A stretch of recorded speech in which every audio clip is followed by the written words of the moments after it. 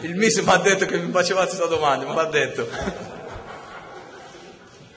Me l'ha detto. Allora rispondi direttamente. No, fammi la domanda, bisogna vedere se, come la domanda. Cecchipone ha fatto una statistica, adesso non ricordo perfettamente, ma comunque ha contato un paio di gay, eh, un paio di... Ci sono froci in squadra? Non ho capito. Rifai la domanda. La domanda è questa, secondo Cecchi Paone ci sono due gay non dichiarati in squadra, due metrosexual, che cioè sono... Se parla in parole povere, mezzo sesso, che... Eh, Pier, non rispondiamo. e come lo rispondiamo? Adesso Eh, se penso quello che dico, sai che cosa viene fuori? Problemi loro, sono froci, problemi loro. Me la sbrigo così, se no mi attaccano da tutte le parti. Sono froci, se la vedessero loro. Mi auguro che non ci sono veramente in nazionale.